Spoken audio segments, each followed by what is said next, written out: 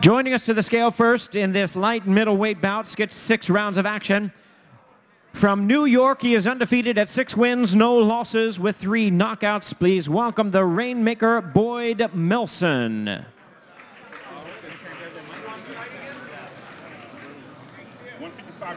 155 and a half pounds for Boyd Melson, 155 and a half pounds.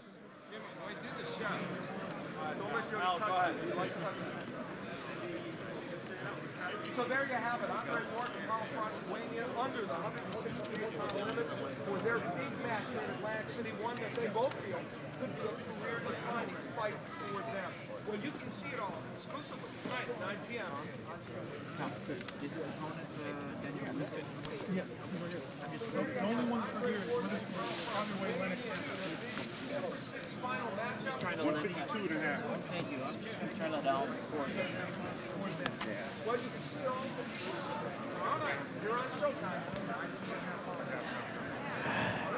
And Daniel Lugo weighs in at 152 and a half pounds. 152 and a half pounds for Dan Daniel Lugo, joining us from Harrisburg, Pennsylvania.